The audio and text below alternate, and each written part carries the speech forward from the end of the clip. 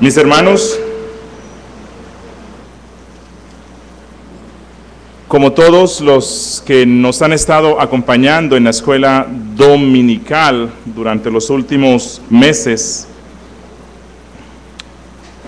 hemos estado aprendiendo a la luz de las sagradas escrituras lo que es la santidad, sin la cual nadie podrá ver a Dios, como dice Hebreos capítulo 12, versículo 14.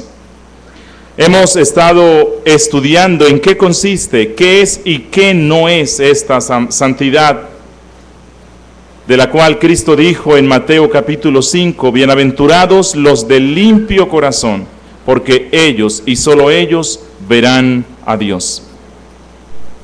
Y habiendo comprendido lo que es esta santidad a la luz de las sagradas escrituras, el domingo pasado en la predicación iniciamos una serie que la vamos a finalizar hoy acerca de estímulos que la palabra nos da para crecer en santidad.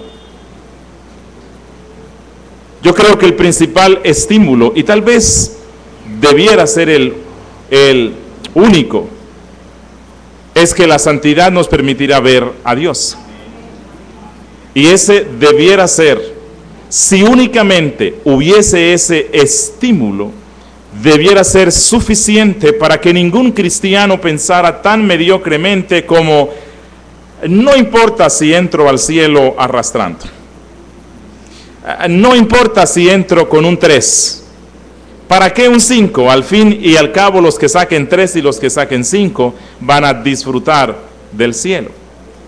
Ya hemos visto algunas razones a la luz de las sagradas escrituras adicionales para que usted y yo seamos estimulados a crecer en santidad. Y hoy quiero dar otras razones, otros estímulos, otros goces para que usted disfrute más del crecer en santidad. Vamos a estar viendo otros gozos y consolaciones para las personas que tienen santidad real. Y quiero recalcar algo antes de iniciar. Estas consolaciones únicamente son para los que tienen la santidad real. Aquel que no la tiene no puede aspirar a estas consolaciones salvo que proceda al arrepentimiento. Así que vamos a ver hoy unas cinco consolaciones adicionales, gozos que nos deben estimular a crecer más en santidad. El primer gozo es este. Si tú tienes la santidad real, si tú eres una persona que verás a Dios, que lo vas a ver porque eres santo, debes saber para tu gozo que todas las cosas, absolutamente todas las cosas, son santificadas para ti. Esto es lo que la Biblia dice. Vayamos por favor a Tito, capítulo 1, versículo 15. ¿Qué es lo que nos dice Tito? Capítulo 1, versículo 15. La palabra del Señor nos dice, todas las cosas son puras para los puros. El que tiene la santidad real es puro. Y dice Pablo que para el puro todas las cosas son puras. Para el santo todas las cosas son santificadas, mas para los corrompidos e incrédulos nada le es puro, pues hasta su mente y su conciencia están corrompidas. Hermanos, amigos, una vez que el corazón del hombre es santificado, todas las cosas son santificadas para él. Mire, cuando el corazón del hombre, de la mujer, del niño es purificado, todas las cosas, dice Pablo, son purificadas para él. Y esto es un glorioso privilegio, que en mi vida todas las cosas, y recuerden que Pablo allí no habla de cosas meramente espirituales, él habla de todas las cosas, todo lo que hay en mi vida será santificado para mí. Y no podemos pedir una misericordia más grande. Que todas las cosas sean, trabajen para hacerme cada vez más santo. Miren, cada cruz me hará más santo. Cada deleite me hará más santo. Cada misericordia me hará más santo. Cada miseria me hará más santo. Cada mandato, cada providencia, cada aflicción, cada juicio, todo en mi vida me hará más santo. Porque dice Pablo que todas las cosas son santas para los que son santos cada condición será santa para mí. El domingo pasado estábamos viendo que la santidad produce gozo independientemente de la condición en la que estemos. Y hoy quiero decirte que cada condición o estado en tu vida te hará más santo. Es lo que dice Pablo. Mire, para el santo, la enfermedad es tan dulce como la salud, porque la enfermedad también lo hace santo. La debilidad es tan dulce como la fortaleza, porque las dos me harán santo. Para el santo, la pobreza es tan dulce como la riqueza, porque en las dos condiciones soy santo. La desgracia será tan dulce como el honor, porque las dos son santificadas para mí la muerte será tan dulce como la vida, porque las dos están santificadas para el santo. Así que no hay una condición, no hay ningún estado para el cristiano que no sea santo. Todas las condiciones, todos los estados son santos para el cristiano. Ah, no puede haber ninguna condición feliz si no es santa. No habrá ningún estado feliz si no es santo. Por eso dice Pablo que para el incrédulo nada le es puro, nada le es santo. Ellos no tienen felicidad porque ninguna de sus condiciones o estados son santos. Pero déjame decirte algo, creyente. Ninguna condición podrá ser miserable para ti si es una condición santificada. Ningún estado podrá ser miserable para ti si es un estado santificado. Y esto es solo un privilegio para la persona santa. Mm, para nadie más. Esta es la corona de todas las misericordias de nuestro Dios, que cada situación amarga se convertirá en dulce, porque esa situación es santificada para mí quiero ir haciendo unas aplicaciones de cada texto. Y quiero decirte, hermano, ¿qué importa si tus misericordias son más pequeñas que las de los demás? ¿Qué importa? No tienes razón para quejarte porque esas pequeñas misericordias son santificadas para ti. Hermano, ¿qué importa si tus pruebas o cargas son más grandes que las del resto? Recuerda que tus pruebas y cargas son santificadas para ti. No tienes motivo para quejarte si todo en tu vida obra para tu santidad. No tienes razón para quejarte si toda condición ha sido santificada para ti. Te pregunto, ¿eres una persona santa? Recuerda que cada pedacito de pan, tal vez mohoso, que te comas, es santificado para ti.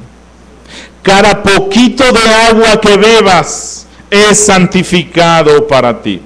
Tu vestido ha sido santificado, el calzado que te pones, la cama en la que duermes, todo, dice Pablo, es santificado para el santo. El suelo que pisas es santificado para ti el más insignificante centavo que tienes en tu cartera es santificado para ti. Cuando nosotros comprendemos esta verdad, cuánta alegría debiera producir en el santo, debiera convertir tu infierno en el cielo. Debiera llevarte a reconocer lo que dice Pablo, que todas las cosas obran para bien a los que aman a Dios, es decir, a los que son santos. Segundo gozo y consolación para los que son santos. Segundo gozo. Hermano, si tú eres una persona santa, si tienes la santidad genuina, sin la cual nunca nadie podrá ver a Dios, debes saber para tu gozo que tú eres una persona muy favorecida por Dios, que tú eres una persona muy valiosa para Dios, que tú eres una persona muy especial para Dios. No, se confunda. Esto no es humanismo barato. Esto no es ese humanismo que se predica en muchos púlpitos. Lo que estoy diciéndote es que si tú eres una persona santa, eres una persona especial para Dios. Si eres una persona santa, eres un tesoro especial para Dios. Eso es lo que la Biblia dice. Y lo vimos en el texto que leíamos al principio, Deuteronomio 14.2. Deuteronomio 14.2 dice, porque eres pueblo santo a Jehová tu Dios porque eres santo. Jehová te ha escogido para que le seas un pueblo único, especial, exclusivo de entre todos los pueblos que están sobre la tierra. Y eso es lo que te dice Dios a ti si eres santo. Eres muy favorecido por Dios. El apóstol Pablo también en Tito, capítulo 2, versículo 14. Tito 2.14 dice, quien se dio a sí mismo por nosotros para redimirnos de toda iniquidad y purificar para sí un pueblo propio, exclusivo de Dios. Eso es lo que es el santo. Le pertenece de manera exclusiva al Rey de Reyes y Señor de Señores. Dice, celoso de buenas obras. Esta es la marca del pueblo que es especial. Así que no es humanismo. Ah, es que ustedes son lo mejor de lo mejor. Bueno, si son santos, sí. Si no son santos, ¿no? Celoso de buenas obras. Miren, Dios le dijo a Daniel, allá en Daniel 9:23, Dios le dijo, porque tú eres muy amado. Eso es lo que dice Dios a todos sus santos y santas. Tú eres muy amado, tú eres un ser muy preciado. Dios tiene una estima muy alta por ti, porque tú eres santo. Cuando dice aquí en Daniel 9:23, porque tú eres muy amado, esa expresión, dicen los expertos, textualmente significa, eres el hombre de mis deseos. Fue lo que le dijo Dios a Daniel, tú eres la persona de mis deseos. Dios llama a sus santos el hombre de sus deseos, porque los deseos de Dios están en él. Recuerdan que el Salmo dice, deleítate en el Señor y Él te concederá las peticiones de tu corazón. ¿Cuáles son las peticiones del corazón de una persona que se deleita en Dios? Lo que Dios desea. Por eso es que Dios ama a los santos. Ah, es que yo deseo un carro, una casa. Bueno, dudo mucho que esos sean los deseos que tiene Dios. Los deseos de Dios de manera especial son la santidad. Es lo que dijo Pablo. Porque esta es la voluntad de Dios, vuestra santificación. El hombre de los deseos es porque tiene los deseos de Dios en él. Miren, los santos son tan especiales y tan amados por Dios que Dios ama sus lágrimas. Eso es lo que la Biblia dice. Dios ama las lágrimas de los suyos. Salmo 56, versículo 8. Dice Dios, dice el salmista, mis huidas tú has contado. Dios cuenta las huidas y las aflicciones de los suyos. Son su pueblo especial. Pon mis lágrimas en tu redoma. No están ellas en tu libro. Pero mire, Dios no solo tiene un aprecio por las lágrimas de los santos, Dios también aprecia la muerte de los santos. Somos tan especial que incluso la muerte es apreciada delante de Dios. Esto es lo que dice el Salmo 116, 15. La palabra dice, estimada es a los ojos de Jehová la muerte. ¿De quiénes? De sus santos. Si tú eres santo, Dios incluso aprecia y estima la hora de tu muerte. Hermanos, Dios te ha hecho santo así como Él es santo. Dios te ha hecho santo así como Cristo y los ángeles son santos. El Señor te ha dado el Espíritu Santo para que seas santo. Es posible que Dios no te haya dado riquezas materiales, pero Dios te hizo espiritualmente grande, rico, honorable, hermoso. Eso es lo que la Biblia nos dice. Escuchen lo que dice Pablo en Efesios 1.3. Efesios 1.3. Bendito sea el Dios y Padre de nuestro Señor Jesucristo que nos bendijo con toda bendición espiritual en los lugares celestiales en Cristo.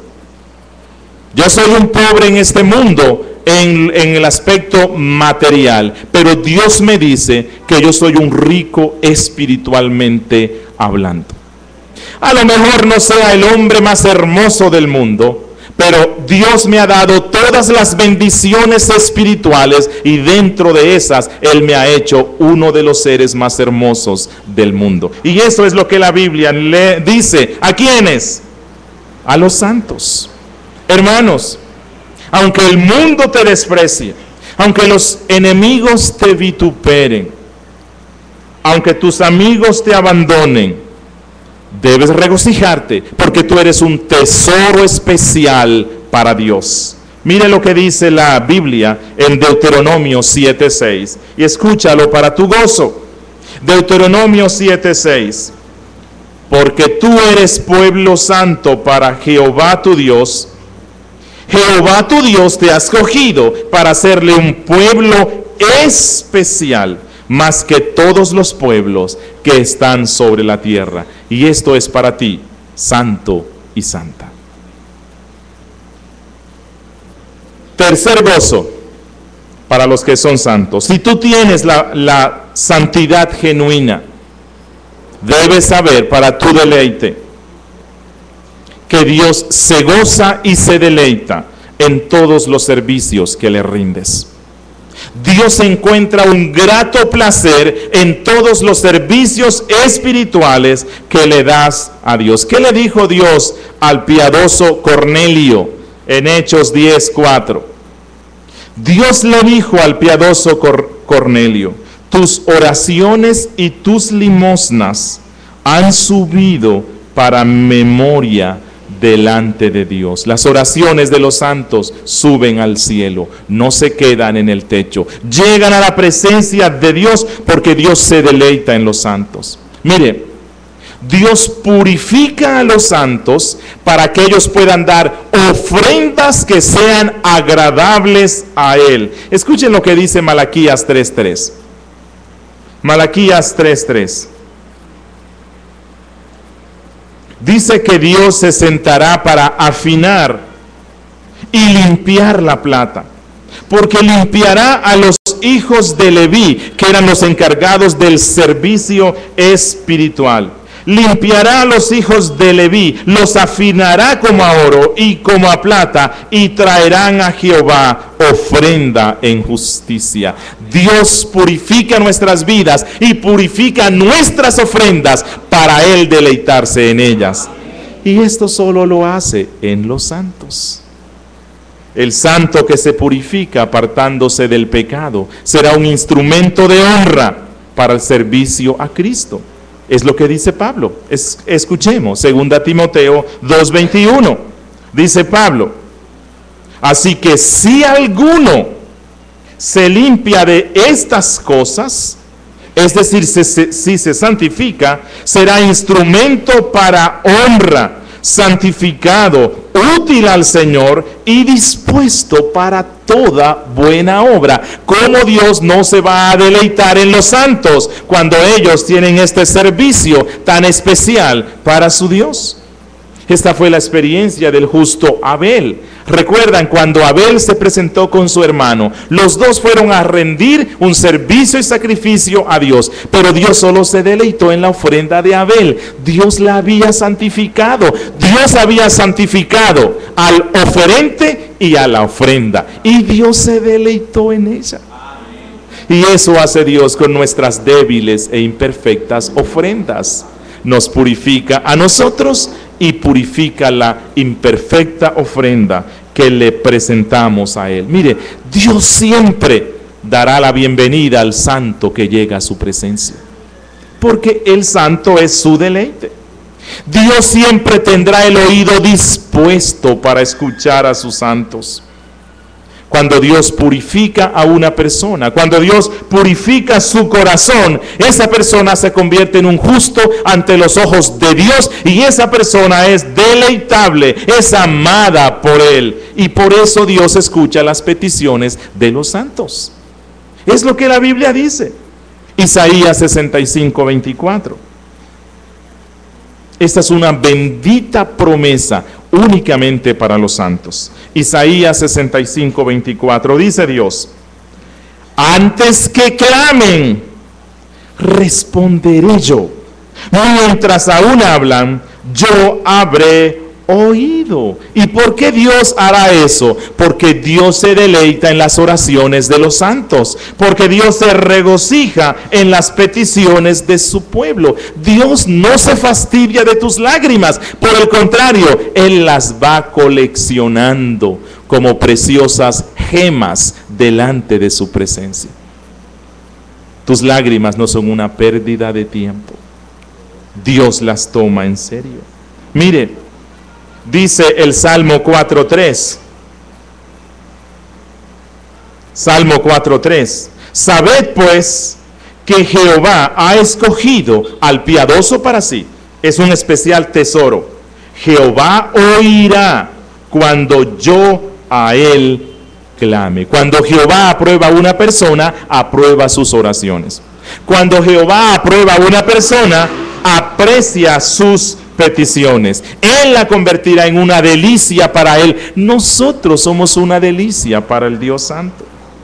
Hermano, las oraciones de los santos que proceden de sus corazones purificadas, que son santificadas por Cristo, la Biblia nos dice que son como un incienso agradable delante de su presencia.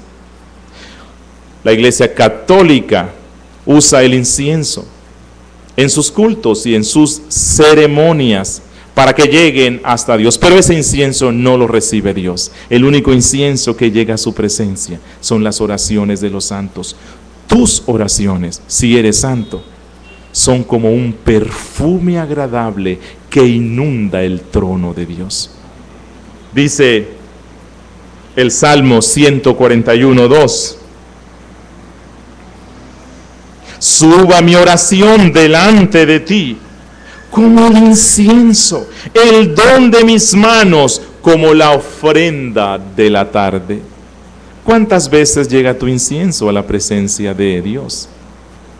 ¿Cuántas veces has inundado el trono de la gracia con tu incienso? Dios quiera que esto sea muy frecuente. Apocalipsis 5, versículo 8 nos da una descripción de lo que pasa con nuestras oraciones. Apocalipsis 5.8 dice, hablando de los santos, de los, de los que están en la presencia de nuestro Dios, todos tenían arpas y copas, y copas de oro llenas de incienso, que son las oraciones de los santos tus oraciones, mis oraciones. Apocalipsis 8.3 continúa con esta descripción. Dice, otro ángel vino entonces y se paró ante el altar con un incensario de oro y se le dio mucho incienso para añadirlo a las oraciones de todos los santos.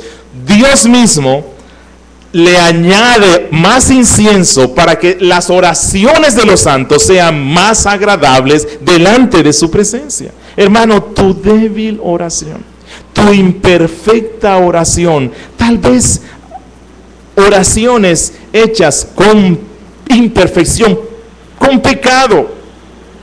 Cristo las santifica y Dios les añade del agradable olor del perfume que brota de su santidad. Y Él se deleita en ellas. Oremos cada día con más confianza ante nuestro Dios. Mire, así como Dios tiene un cuidado especial por las personas, por nosotros, por los santos, Dios tiene un cuidado especial por el servicio que le damos a Él. Dice Proverbios 15:8. El sacrificio de los impíos es abominación a Jehová. Cuando el impío viene y canta con nosotros, si él no se arrepiente, que no crea que Dios se deleitó con él. Su ofrenda fue desagradable delante de él, porque él no está purificado porque él no se ha arrepentido de su maldad. Pero dice la, segunda parte, mas la oración de los rectos es su gozo. Cuando usted ora, así sea por algo triste que lo lleva a derramar su corazón, así sea por un el arrepentimiento de un pecado escandaloso, cuando usted ora, Dios se goza con su oración. Dios hace una fiesta, se deleita en escuchar el clamor de los santos. Primera de Pedro 3:12 dice, porque los ojos del Señor están sobre los justos y sus oídos atentos a sus oraciones. Quiero explicarles algo sobre este texto. Dicen los expertos en griego que lo que Pedro quiere decir es, cuando las oraciones de los santos son tan tenues, tan débiles, cuando el santo está tan afligido que, que apenas puede balbucear palabra, que, al, que solamente puede musitar muy delicadamente algo, que esa oración no puede llegar al trono de la gracia. Lo que Dios hace es que Él baja su oído y lo pega a tus labios. Dios inclina su oído y lo acerca a tu boca y su oración es escuchada por Él. Cuando tus temblorosos labios no pueden orar bien, como Ana, que no se puede escuchar lo que dice, Dios baja su oído y lo pega a tu boca. Eso es lo que Dios está diciendo aquí. Hijos e hijas de Sión, déjenme decirles, tú hijo de Sión que estás llorando y lamentándote por tus debilidades, ten presente que junto con Moisés tal vez no puedas hablar bien una oración, junto con Ana, si acaso puedas mover tus labios junto con Ezequías, si acaso puedas suspirar una oración. Recuerda que Dios es el dueño de tus oraciones, que Dios las acepta y que Dios se goza en ellas, así sean débiles. Y cuando son muy débiles, Dios baja su oído y las escucha y se acerca más a ti. Hermanos, hermanas, tú tienes acceso a una comodidad especial y es que cuando estás bajo necesidades y angustias, cuando tienes una enfermedad en el cuerpo, cuando la muerte llama a tu puerta, en todos estos y otros casos puedes dirigirte a Dios como un amoroso Padre que está esperando escuchar tu oración para gozarse en ella y responderla. Cuarto gozo, cuarto gozo, cuarta verdad bíblica para tu gozo. Si eres de las personas que tiene una santidad real, sin la cual nadie verá al Señor, debes saber para tu deleite que Jesucristo te preservará en santidad. Debes saber para tu gozo que Dios preservará tu santidad la santidad junto con Cristo es la joya más selecta que el cristiano tiene. Y Dios la guardará, Dios la preservará para su gloria y nuestro gozo. La gloria de, Dios redunda en nuestro gozo. Mire, Dios le ha dado a las criaturas el instinto de conservación natural. La santidad es una creación, es una criatura de Cristo. Y el Señor está produciendo que esta santidad se preserve en nosotros. La santidad es Cristo en nosotros. Y Él se preserva a sí mismo y Él la preservará en nosotros. Quiero decirte esto. El que es santo una vez, será santo para siempre.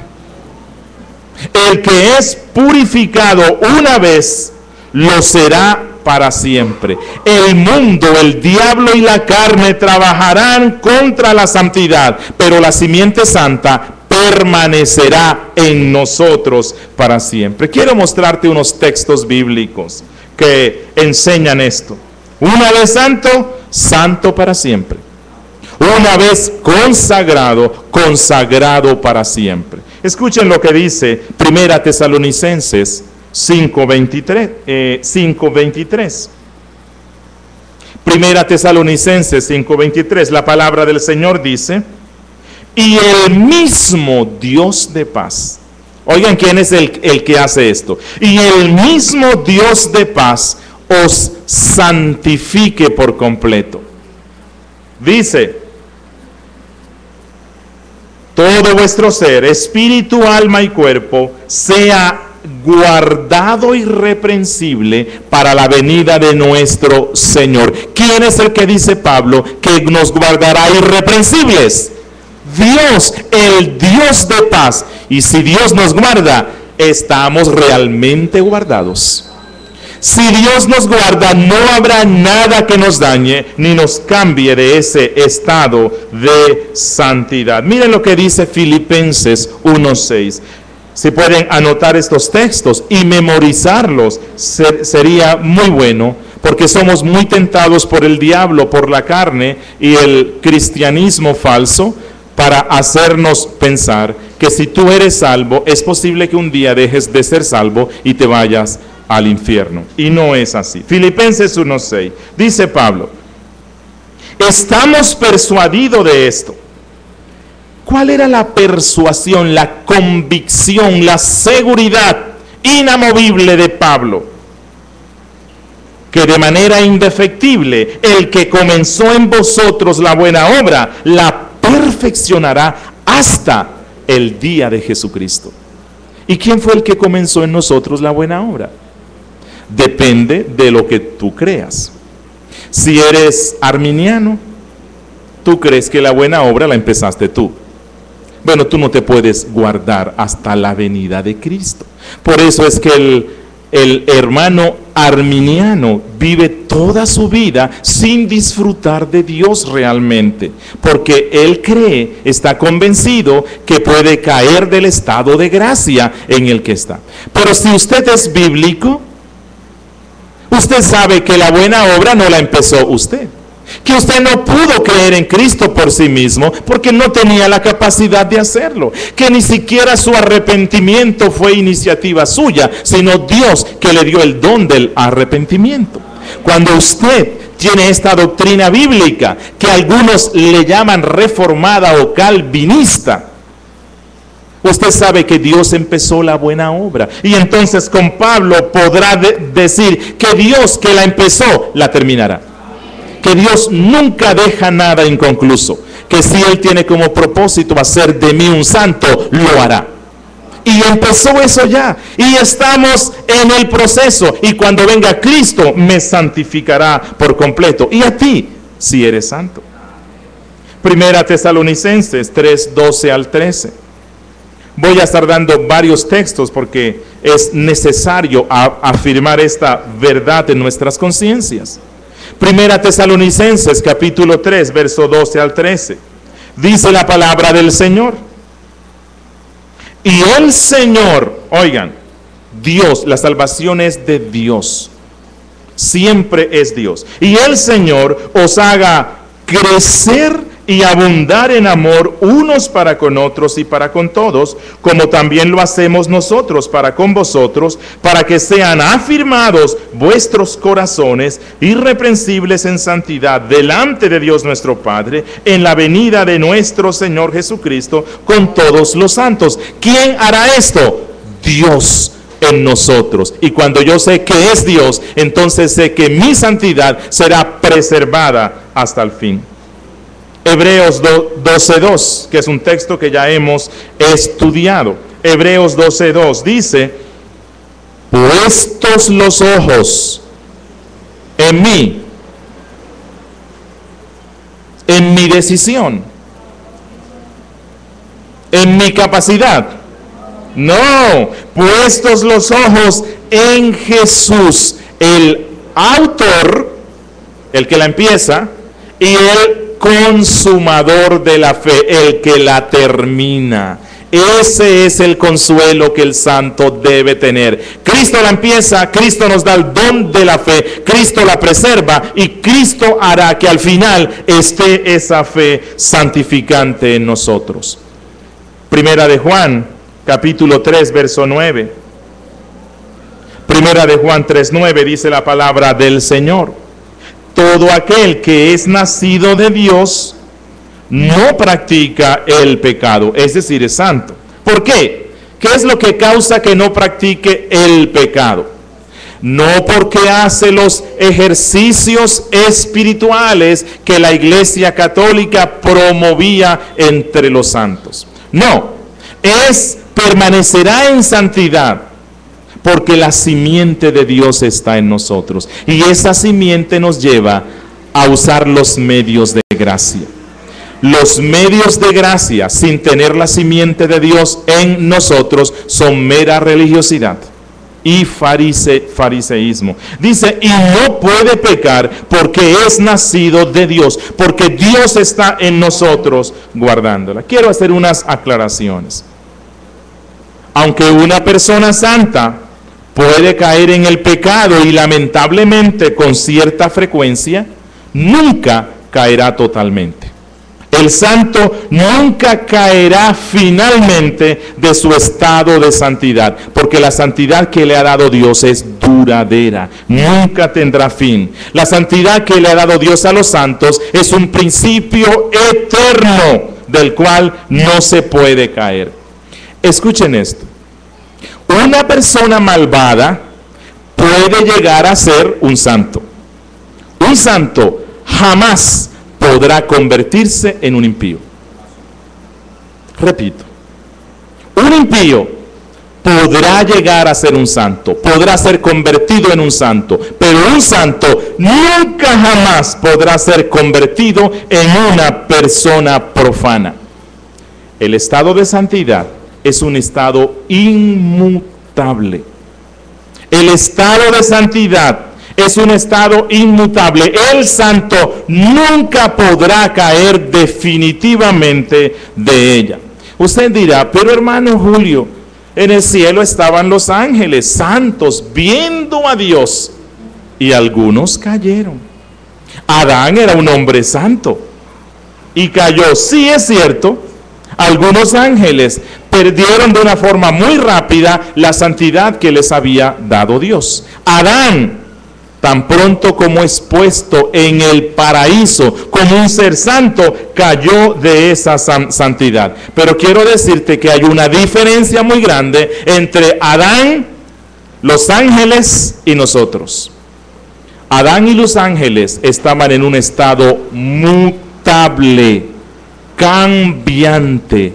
Los santos estamos asegurados por Cristo en un estado inmutable que no cambia. Nunca vamos a caer de esa condición santa.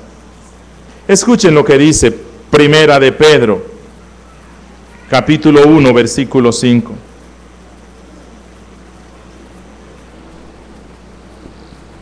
Primera de Pedro 1.5. Que sois guardados hablando de los santos, que sois guardados por el poder de Dios mediante la fe para alcanzar la salvación que está preparada para ser manifestada en el tiempo postrero. Dios está guardando nuestra santidad porque en el día postrero Él la manifestará y a todos sus santos, desde el más débil hasta el más fuerte, a todos sus santos, desde el más torpe hasta el más sabio, a todos sus santos, Dios los coronará con la gloria eterna. Ninguno se le perderá. Ninguno. Mire, Juan capítulo 8, verso 36, nos dice una gran verdad. Nos deja ver que Cristo no solamente es el administrador de la gracia en nosotros, Cristo es el administrador de la santidad en nosotros y Él garantiza que habiéndonos convertido en hijo de Dios, para siempre vamos a ser hijos de Dios. Cristo compara, Cristo habla de dos clases de personas en el mundo, de los sirvientes y de los hijos. Y Cristo dice que los sirvientes el día menos pensado pueden ser echados a la calle y no tienen derecho a protestar, pero que los hijos nunca van a ser echados a la calle. Mire, Juan 8:36. Y el esclavo no queda en la casa para siempre. Esto fue lo que pasó con los judíos religiosos. Ellos eran esclavos de la ley, mas no muchos no eran hijos de Dios. Pero dice Cristo, el Hijo sí queda para siempre. El que una vez es santificado es bendito para siempre y nada lo cambiará. Repito, la santidad es una semilla inmortal. La santidad es un don real que Dios nos da una sola vez para siempre y nunca nos será quitado. Ahora, es cierto, es cierto que el brillo, que la fuerza de la santidad que la dulzura de la santidad, que el fervor de la santidad, que la pasión de la santidad pueden disminuirse en el alma y pueden disminuirse mucho. Pero la Biblia nos dice que la semilla de la santidad, que la sustancia de la santidad no se extinguirá definitivamente. Es probable que la llama de la santidad merme mucho en un cristiano pero nunca se apagará totalmente. Ella se mantendrá viva. Romanos 11:29. Romanos 11:29 dice Pablo, porque irrevocables son los dones y el llamamiento de Dios. Hermanos, así el árbol esté sin hojas y sin frutos y parezca seco si es un árbol santo, la raíz santa permanece en él. Dios quiera que no estemos siempre en la condición de árboles secos y sin fruto. Hermanos, así uno pase por un invierno espiritual, donde casi todo parece estar congelado. Si tú eres santo, debes saber que luego vendrá una primavera de santidad. Porque esa es la promesa que la Biblia hace.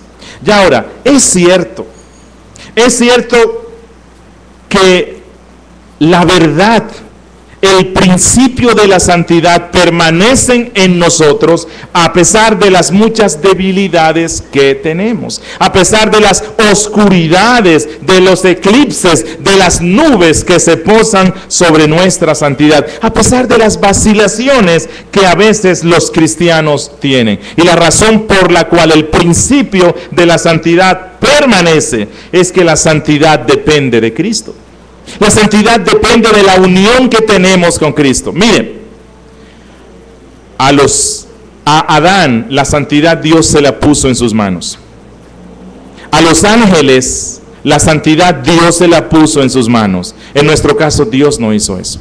Dios no puso la santidad en nuestras manos. Dios las puso en las manos de Cristo. Y de ellas nunca jamás va a caerse. Esa es la garantía que tenemos los santos de que siempre vamos a ser santos. Mire, la santidad nuestra es fruto del pacto eterno que Dios hizo con Cristo. Cristo como mediador nuestro. La santidad es fruto del precio de sangre que Cristo pagó por esa santidad. Por eso esa santidad nos es garantizada. Nadie nos la va a quitar. Escuchemos lo que la Biblia dice. Deuteronomio 33, versos 26 y 27. Deuteronomio 33, 26 dice, no hay nadie como el Dios de Jesurún, que para ayudarte cabalga en los cielos, entre las nubes con toda su majestad. El Dios sempiterno es tu refugio, por siempre te sostiene en sus brazos. Nuestra santidad no es como algunos la pintan.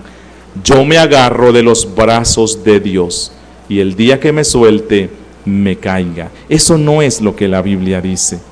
Dios nos sostiene en sus brazos. ¿Y quién nos arrebatará de los brazos del Dios majestuoso que cabalga en los cielos a favor de nosotros?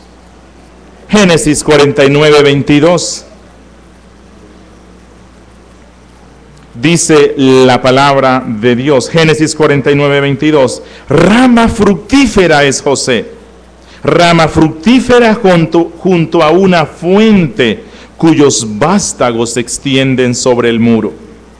Le causaron amargura, le asaetearon y le aborrecieron los arqueros, mas su arco se mantuvo poderoso y los brazos de sus manos se fortalecieron. ¿Por quién? Por las manos del fuerte de Jacob.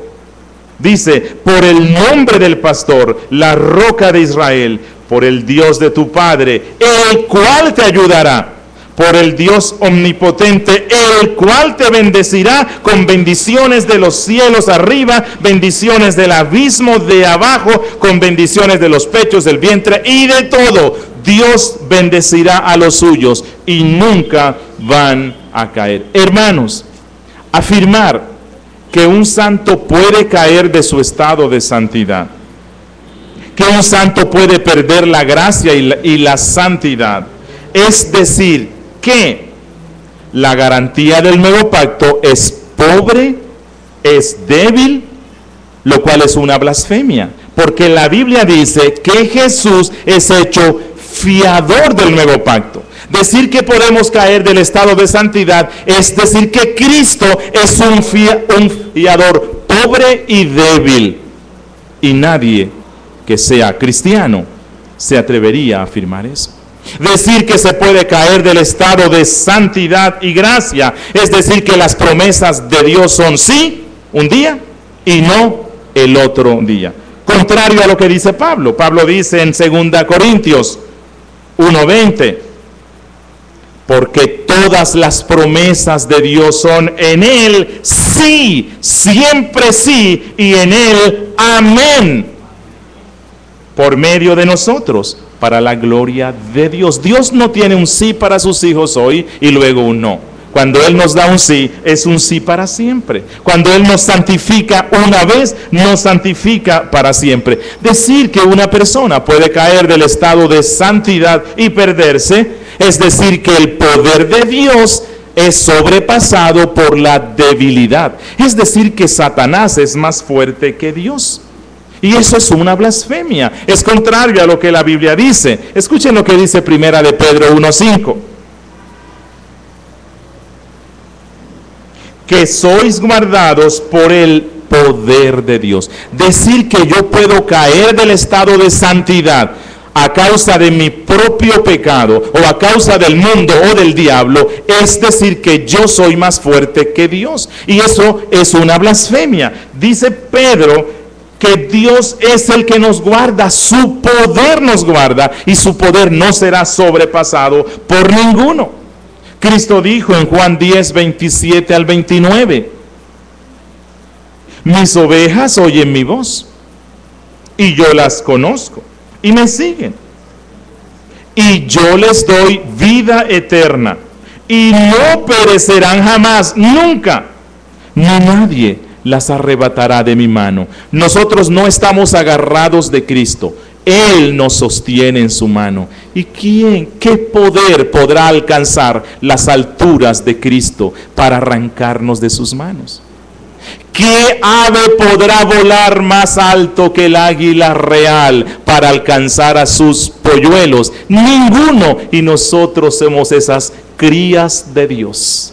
Y el Señor nos guarda. Miren, decir que un santo puede caer de su estado de santidad y perderse es afirmar que el decreto de Dios es mutable, lo cual es contrario a la cruz lo cual es contrario a lo que afirma la Biblia. Escuchen, 2 Timoteo 2:19. Pero el fundamento de Dios es que está firme, nunca cambia, teniendo este sello Conoce el Señor a los que son suyos y apártese de iniquidad todo aquel que invoca el nombre de Cristo. Decir que un santo puede caer de su estado de santidad y perderse es decir que el amor libre y sempiterno de Dios se ha vuelto un amor cambiante e inconstante, lo cual es contrario a lo que la Biblia dice. Mire, Jeremías 31, versículo 3.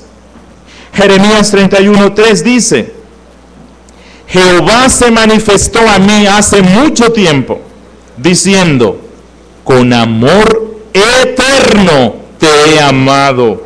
Por tanto te prolongué mi misericordia. El amor de Dios para su pueblo no es cambiante. El amor para con los santos no es temporal. Malaquías 3:6 dice Dios, porque yo Jehová no cambio. Por esto, hijos de Jacob, no habéis sido consumidos. Y Cristo dijo, como había amado a los suyos que estaban en el mundo, los amó. ¿Hasta cuándo?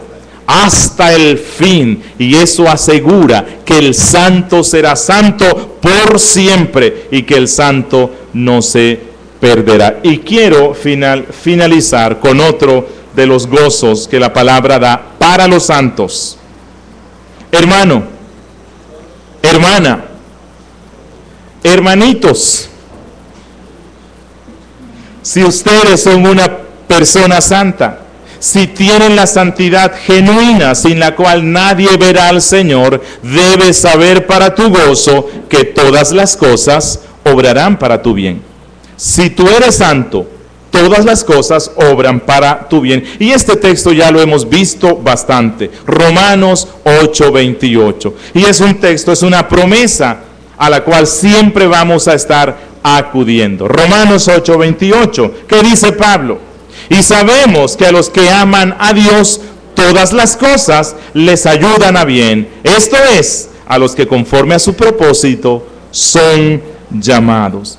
Lo que nos dice Pablo aplicándolo al tema de la santidad, es que todas las aflicciones, todas las tentaciones, todas las opresiones, todas las persecuciones, todas las oposiciones que le acontecen a un hombre santo, trabajan para su bien.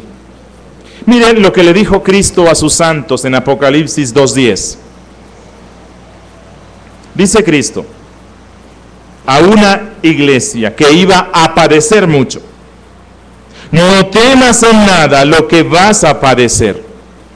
He aquí el diablo echará a algunos de vosotros en la cárcel. Oye, que no le teman a estar en la cárcel. Y le tenemos un pánico, ¿no? Para que seáis probados y tendréis tribulación por diez días. Cristo dice, no temas por esa tribulación, sé fiel hasta la muerte, yo te daré la corona de la vida. Esas aflicciones iban a ser para su propio bien. Hermano, hermana, cada cruz, cada pérdida, cada enfermedad que sobreviene al hombre santo, trabajará para su bien.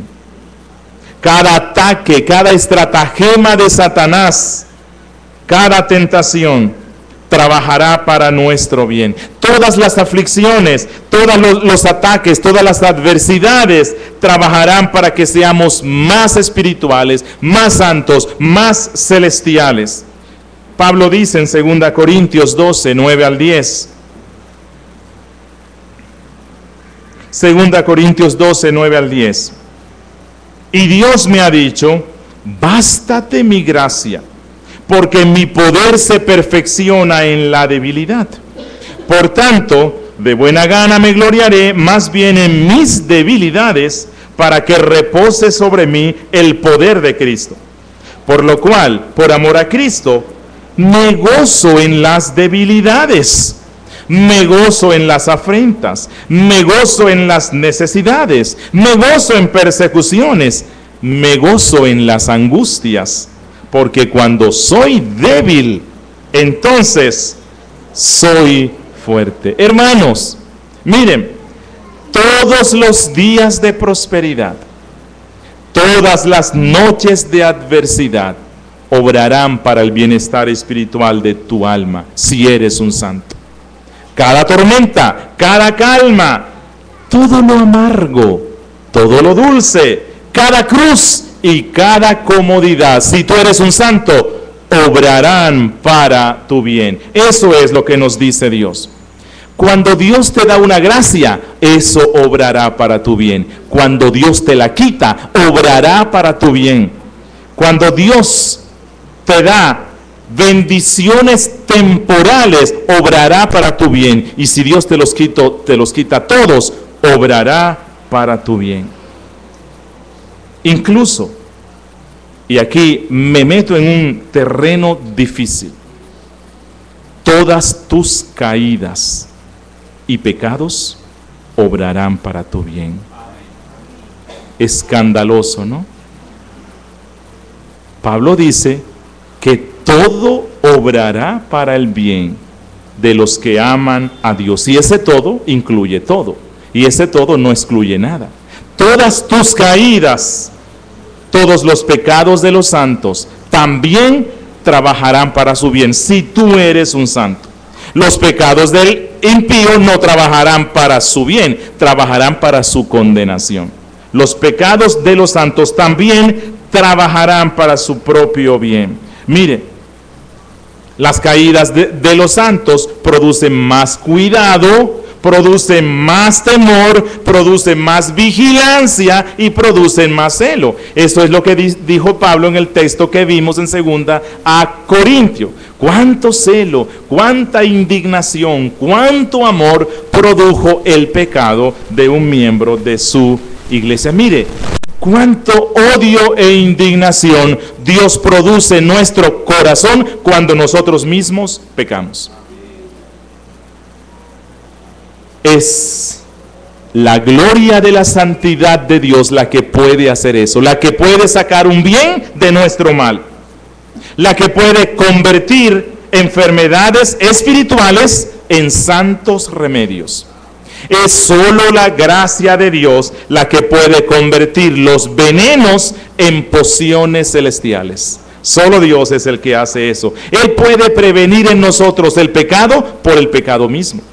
Él puede prevenir en nosotros las caídas por las caídas que nosotros tenemos.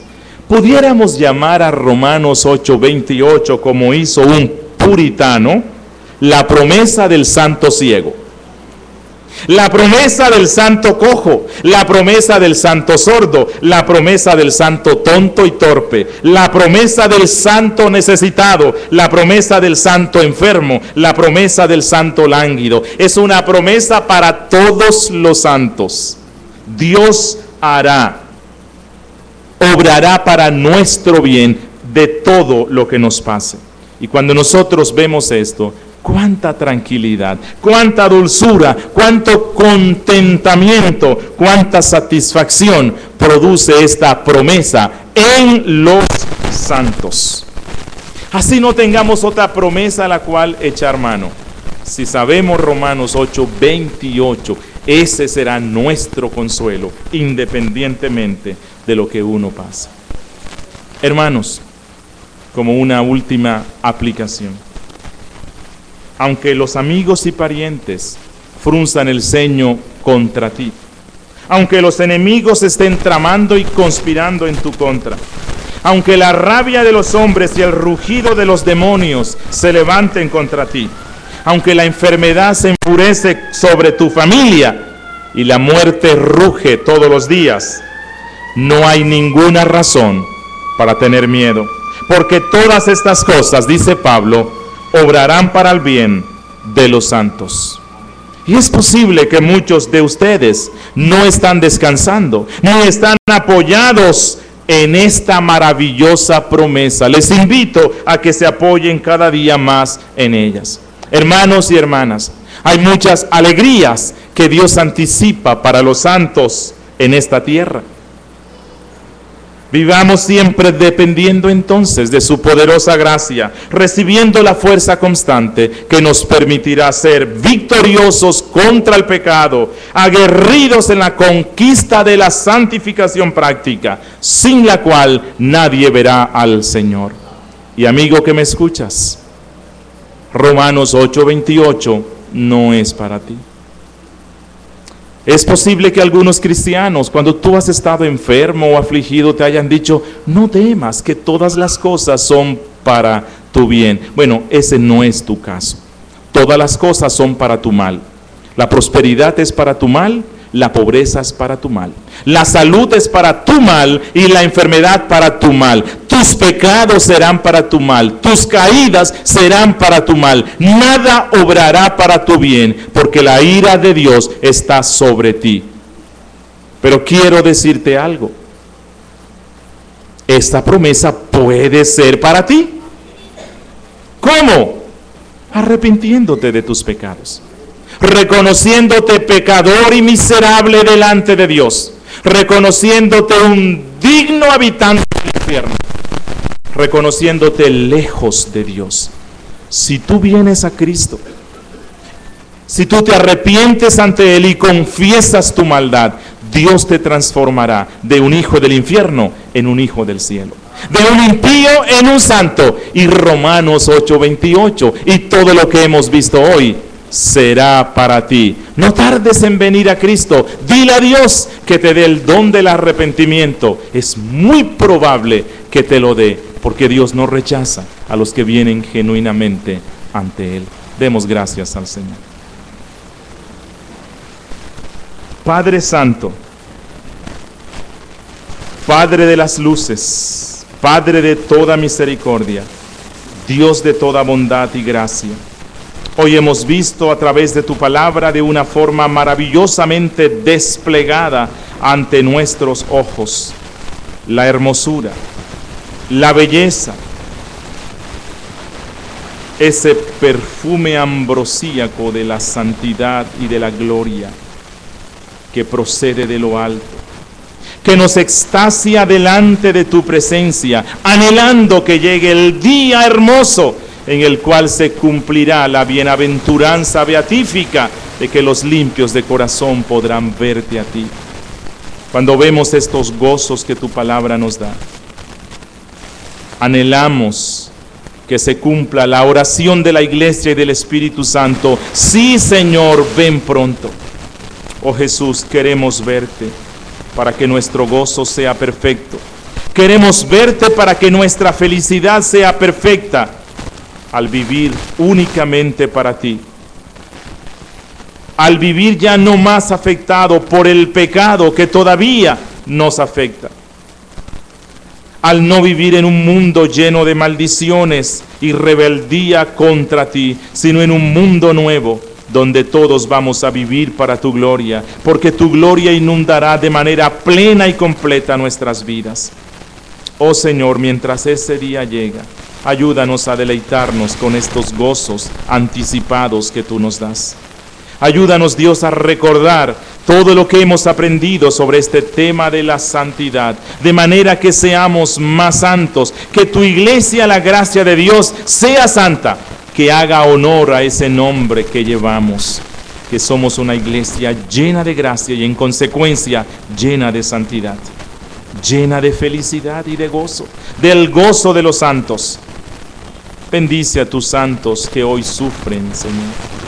Bendice a tus santos que hoy día están padeciendo por alguna razón, que lloran delante de tu presencia. Ellos tienen el gozo de que sus lágrimas están en tu redoma. Ellos tienen el gozo de que su oración ha sido escuchada, que sus lágrimas, sus quejas, sus lamentos han sido el gozo del cielo. Oh Señor, ayúdanos a hacer una iglesia de más oración. Una iglesia que inunde el trono de la gracia con ese incienso agradable. Ayúdanos Dios, que el mayor incienso que llegue a los cielos sea el nuestro. Ayúdanos a hacer una iglesia de oración. Oh Señor, bendice a tu pueblo hoy día y que podamos ser más santos. Pero también te ruego por los incrédulos que nos escuchan, los impíos, los que no te conocen, los que creen que te conocen pero realmente no están interesados en la santidad. ¿Están interesados en que les hagas un milagro? ¿Estás interesado en que les consigas un esposo o esposa? ¿Están interesados en recibir algún disfrute terreno? ¿Están interesados en que les dé salud para ellos amar y deleitarse más de las cosas pecaminosas del mundo? Algunos están interesados en la eternidad, pero no en ti, no en tu santidad, sino en las comodidades que tendrá la vida eterna. Yo te ruego que tengas compasión de ellos, Señor, que les muestres tu belleza, que tú eres lo más bello y hermoso en esta tierra y en el cielo que lo que más anhela un santo en esta tierra y en el cielo es tenerte a ti, conocerte a ti, mirarte a ti, vivir para ti. Ayúdanos Dios, te lo ruego, y convierte a los pecadores que nos escuchan, que tu gracia les alcance. En Cristo Jesús. Amén.